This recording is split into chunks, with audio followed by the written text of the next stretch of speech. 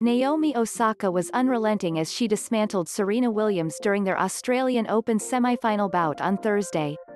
But once the match was over and she'd cleanly secured her 6-3, 6-4 victory, the three-time Grand Slam champion was all smiles and even had some jokes for the viewers back home. After a light-hearted on-court interview, Osaka walked across the court to sign the tournament's camera lens, a tradition for match winners at the Australian Open. But players often add doodles and messages alongside their autograph, and in typical 23-year-old fashion, Osaka used the opportunity to take a jab at her older sister, Mari. The Japanese international didn't hesitate as she approached the camera and wrote in blue marker, Mari stop sending weird images in the group chat. She smirked slightly as she added her signature beneath the message, then walked away without a second glance.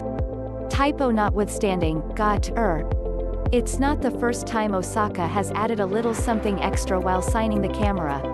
Following her quarter-final victory over Hsieh Su-wei, the 2019 Australian Open winner attempted to draw a cat on the lens but was wholly unimpressed with her ugly result. Now that she's had her fun, Osaka will undoubtedly get serious about shifting her focus to Saturday's final. She'll face Karolina Muchova or Jennifer Brady, neither of whom has made a Grand Slam final, on Saturday to pursue her second Australian Open title.